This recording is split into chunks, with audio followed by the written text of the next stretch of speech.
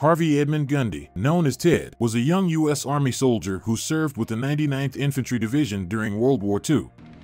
Despite his age, he quickly proved to be an accomplished sniper, fighting in the Battle of the Bulge.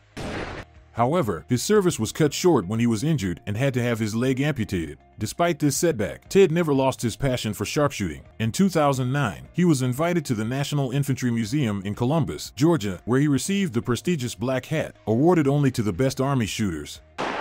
At Fort Benning, he was given the opportunity to demonstrate his skills with the Army's most advanced firearms. Ted started with a 300 yard target and easily hit it, then was taught how a Remington 700 works and how a 1,000 yard shot could be achieved. Despite initial doubts, he managed to pick off the target with three impressive headshots, all just 5 inches from each other, proving that age and physical limitations are no match for determination and skill. What do you think? Subscribe, folks.